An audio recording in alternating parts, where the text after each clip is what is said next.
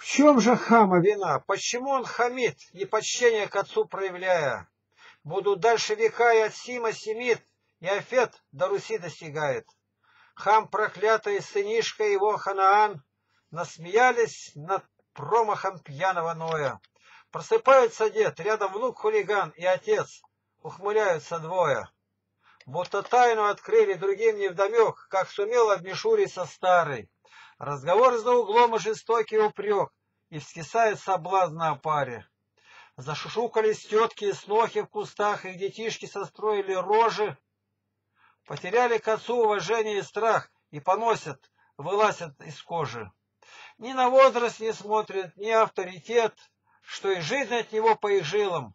Но у них только факты, измазался дед, выпил лишку, на свете зажился. Африканский чернеет сейчас континент, и хамье расплодилось повсюду. Раб рабов этот хама, управы все нет, так позорит в судах и прилюдно. Хам, по сути, был прав. Ну какой же пример, если сам патриарх так упился? Учит с кафедры нас фарисей лицемер на бесплодные смоковницы листья. Но проснулся отец,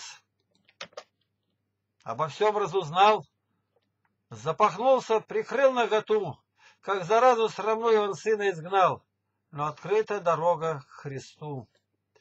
Белизной у Евнуха ризы блестят, он в небрачниках слышали сын Соломона.